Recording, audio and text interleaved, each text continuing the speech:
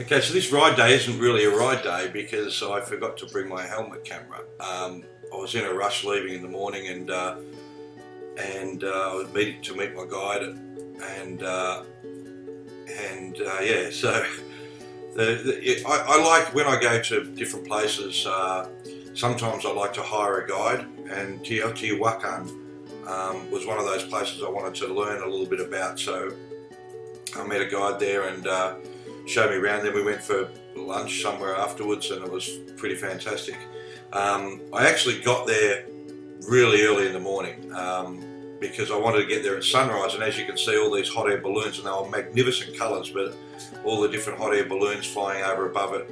Um, uh, but unfortunately, the weather wasn't too great. There's a panoramic shot, and how I do the panoramas is I using Google Photos. I just take one photo, then one next to it, then one next to it, one next to it, and then Google Photos stitches them all together quite amazingly. Um, and you get that panoramic. So if you've got your camera and you've got a, um, you, you, all your photos go up, all automatically upload to Google Photos, which I suggest you do um, from from your camera. Um, then you'll get you know, if you do them correctly, just keep keep the phone steady. One photo, two photo, three photos, even four, and you can get some really wide panoramas. But um, the, the place is like a lot of history, and they worship the sun god. The moon god seemed to be a, a more important one by the structure, the structures, and how it was centered. Um, and there was obviously a little uh, place there for the sacrifice of the, you know, the virgins, I imagine, or something like that. They usually do that. They worshipped a, like quite a few different gods, um, which is not not uncommon. Um, you know, because basically they didn't understand, and they see we're looking up onto the moon temple there. Um, but this this structure was over about 30 kilometres, and there was like you know some some estimates as low as 130,000 people lived here, and um, and up to maybe 300,000 people, uh, 250, 300,000 people living uh, living in this region uh, and this was the main area. And you can see even through the structures, you can see where all the people, people the walkways through for the general population to get through to the main areas.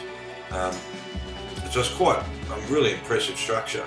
Unfortunately, the weather wasn't really kind to me that day, this day, but I learned a hell of a lot, and um, it's uh, it's quite incredible. Uh, unfortunately, development around the area is probably going to stop it from really from them finding everything they need to find and a lot of development uh, there is people's jobs and that. So when they do find stuff that's outside this main area, um, a lot of the times they don't report it uh, because they know it will stop production of uh, the development. So it's pretty sad, uh, considering what it could be. I mean, it's already quite amazing, and it's it's very steep to climb up to the top. Is a it doesn't look so bad here, but when you get to the main temples, it's a very very steep climb.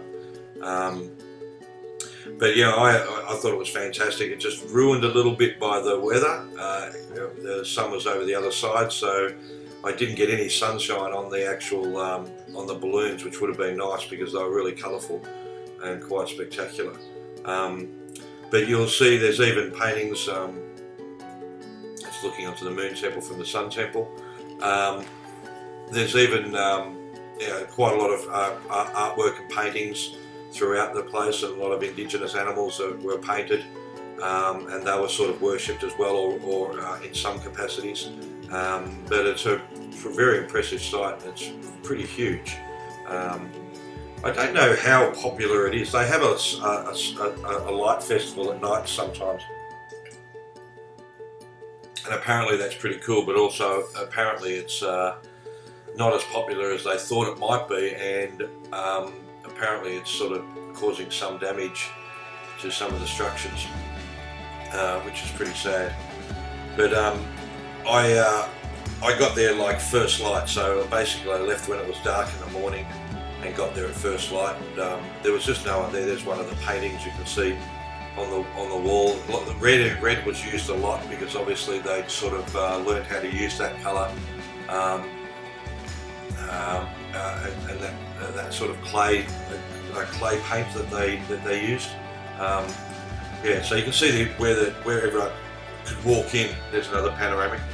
Um, so there, there's quite a few of those structures dotted around the temples. Um, how people could access it and um, and and where they where they would uh, where they would all come in and stand and watch whatever was was going on. I'd love to know all the stuff that you can see there. That's the like there's a at the bottom of the Moon Temple. There's a, um, a structure there that like a like a um, like a very big panorama, uh, but a structure there for like a, a, stage type thing. So I imagine they had some sort of events there, whether they were sacrifices or they were um, they were entertainment. I'm not not sure. It seems that it was a pretty benign community as far as it wasn't really a um, from the structures. It, it wasn't really because there's no military structures around there. So it looked like they lived in peace for quite some time. And it took, I think they started at about 150 AD. They started the construction of it. And there was, it's well documented throughout Mesopotamia. Um, there's some scientists there. Um, and, uh, and it finished, I think, around 250 AD. Uh, the, the total structure had been completed. So it's, I mean, it's a massively impressive. That's the entrance as well. So it looked like it was fairly well controlled as far as how people came in and out of it uh, out of the structure.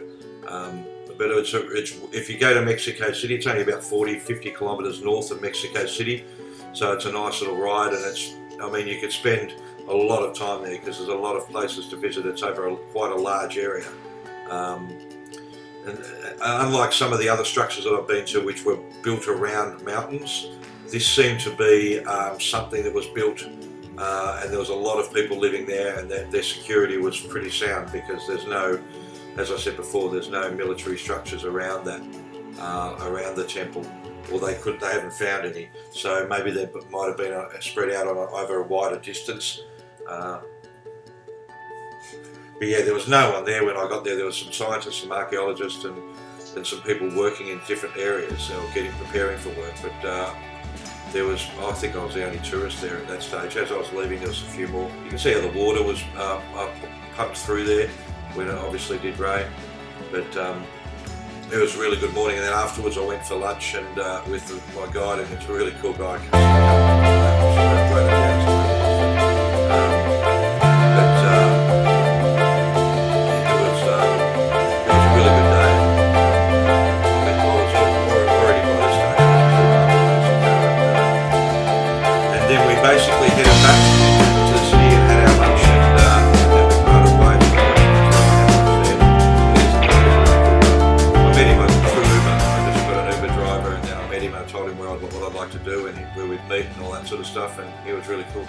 So questions and comments below.